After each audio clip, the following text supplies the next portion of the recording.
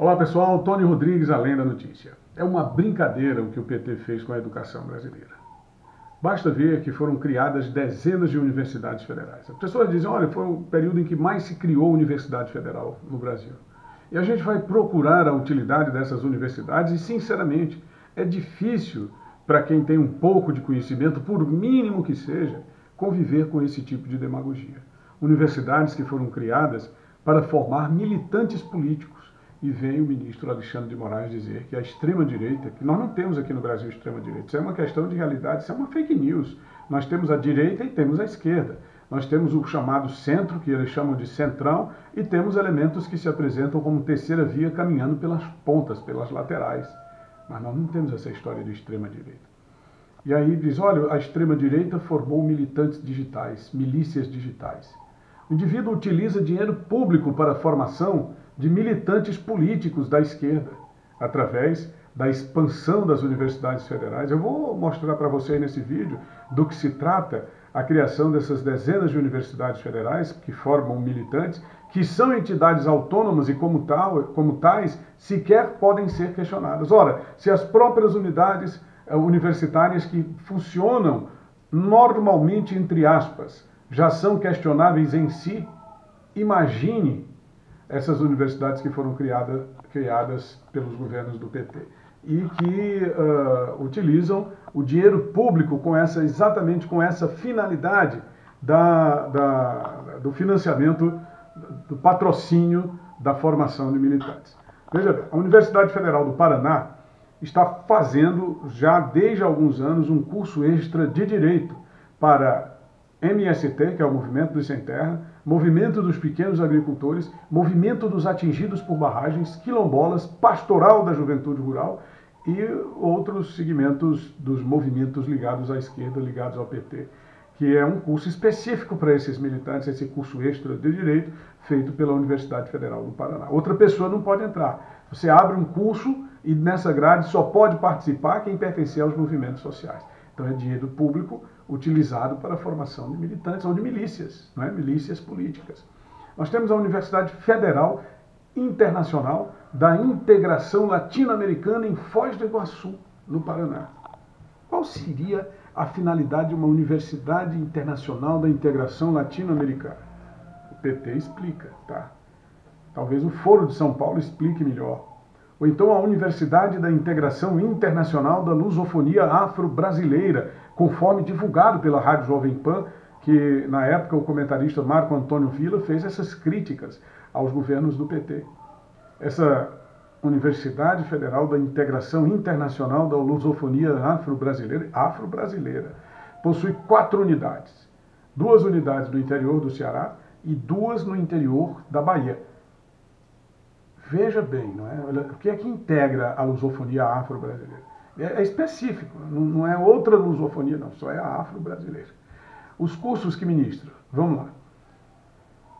É, Festival das Culturas, Atividade Cultural, pensando na diversidade das expressões culturais da África, Timor-Leste e Maciço de Baturité e Recôncavo Baiano. Inclusive o apresentador questiona o que é que tem a ver o Timor-Leste, que fica na Ásia, as expressões culturais da África com o maciço de Baturité e com o recôncavo baiano. O que, é que tem a ver? Está lá, Universidade Federal. Licenciatura em Pedagogia, 40 horas, fundamentos. Olha só o que é que traz a licenciatura, licenciatura em Pedagogia. Disciplina de 40 horas, fundamento filosófico e práticas do samba. Fundamentos filosóficos e práticas do samba pensemos né, na grandeza, na grandiosidade dessa disciplina. Tem mais, uma disciplina com 40 horas, fundamentos filosóficos e práticas da capoeira. Então, essa é, é a expansão das universidades federais. 40 horas, pretagogia. Alguém pode me explicar o que é que significa pretagogia? Porque eu não consegui entender e eu até fui pesquisar né, o que é a pretagogia.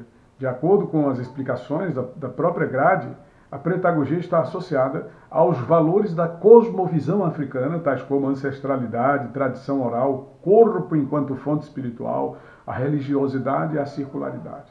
Dialoga-se essencialmente com a pretagogia. para se obter esse grande conhecimento aí, os valores da cosmovisão africana.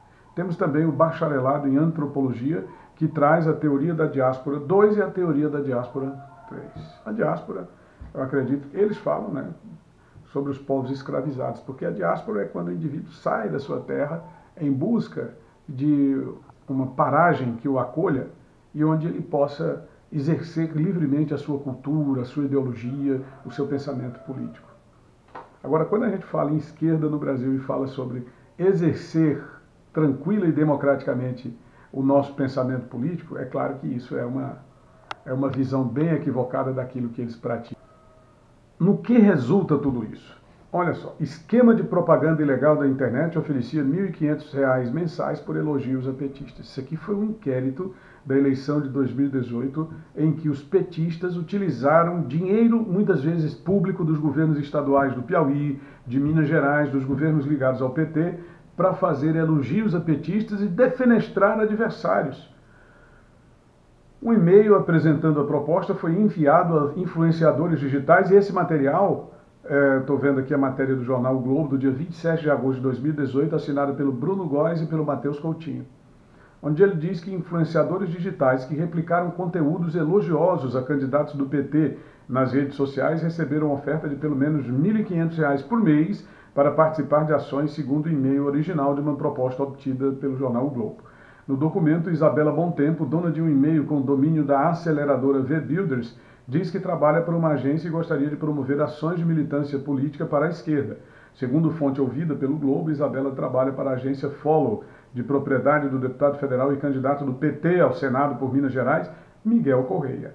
Oficialmente, quem admitiu ter prestado serviços ao PT para monitorar redes sociais e indicar influencers foram, respectivamente, as agências B-Connect e Lajoy.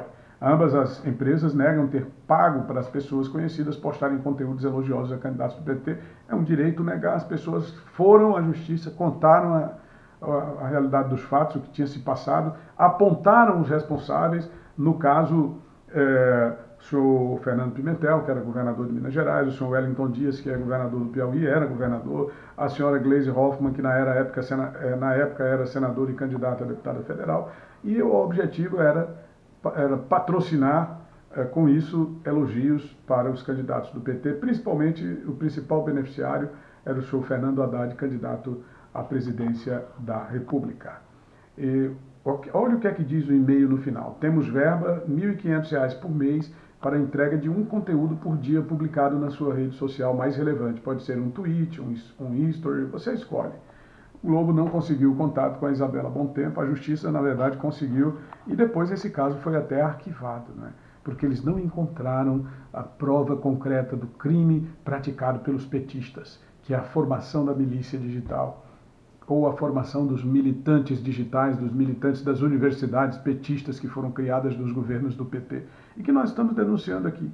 Então, é, é difícil. E tem as, as agências de checagem ainda que corroboram para desacreditar o trabalho de setores da imprensa. Porque aqui nós vimos uma agência que foi trabalhar é, o que é fato ou fake na polêmica propaganda em favor do governador do Piauí, Wellington Dias. Uma série de postagens elogiosas e com pedidos de voto para o governador. Aí lá eles dizem o que é fato ou fake, porque lá eles criaram uma série de informações mentirosas para impulsionar a imagem do governador, do então governador. Por exemplo, firmou o Piauí como líder em energia eólica. Mentira. Uma outra postagem. Levou o ensino técnico Pronatec a todas as cidades. É outra mentira, eles colocam como fato, mas é outra mentira, porque o Pronatec nunca formou ninguém. O Pronatec não forma, quem se forma são as pessoas. Se for depender do Pronatec, não entregue nenhum equipamento seu para ser reparado por alguém que tenha sido formado pelo Pronatec, porque realmente é difícil, tá? 80% da população atendida no Piauí conectado. Hoje eles já dizem que é 100%, mas na época as agências de checagem já diziam que não era verdade, os 80% fake. Portanto, é, a gestão de Wellington Dias quase dobrou o índice de desenvolvimento humano. Mentira! Nos governos do PT, a partir de 2017, nós tivemos um empobrecimento de cerca de 500 mil pessoas, meio milhão de pessoas no Piauí ficaram mais pobres. Então, para que servem esses cursos de militância digital, inclusive universitária?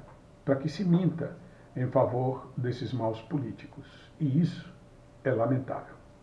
Se você gostou desse vídeo, deixe seu gostei, se inscreve no nosso canal e ative as notificações. Eu sou o Tony Rodrigues e aqui Além da Notícia.